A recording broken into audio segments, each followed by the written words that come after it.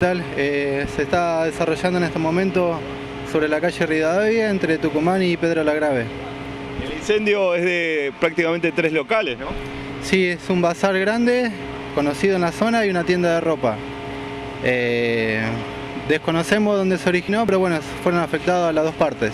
Bueno, es destacar que tuvieron que trabajar con el- la grúa, ¿no? Porque el incendio era un trepiso. En realidad es una hidroescalera que primero se originó una apertura en el techo para ventilación y después se generó otro acceso para atacar el fuego, sí. Bueno, pudieron trabajar varias dotaciones de bomberos, ¿no? Sí, es cierto, también estamos con cuarteles vecinos, alrededor de 20 unidades entre las unidades de apoyo, las camionetas, donde se trajo material que tuvo que ser utilizado equipos autónomos y para recargar lo mismo debido a la combustión y la gran cantidad de, de humo que había.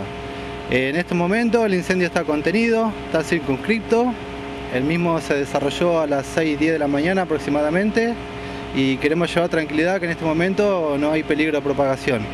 Sí, por la- el combustible que se encuentra en los locales tenemos para varias horas eh, para tratar de, mm, de extinguir el fuego en su totalidad. Había mucha preocupación porque hay muchos comercios pegados, ¿no? Y seguramente todos los comerciantes estaban preocupados.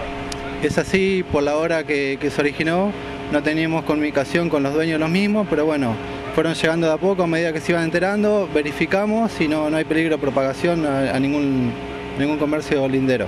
¿Cuántos bomberos prácticamente están trabajando aquí? Alrededor de 65 personas. Bueno, todos con todo el equipo que tienen, tanto ustedes como los distintos cuarteles.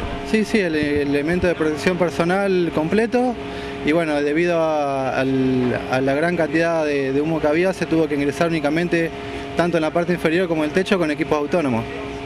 No hubo ningún bombero herido por suerte, ningún problema.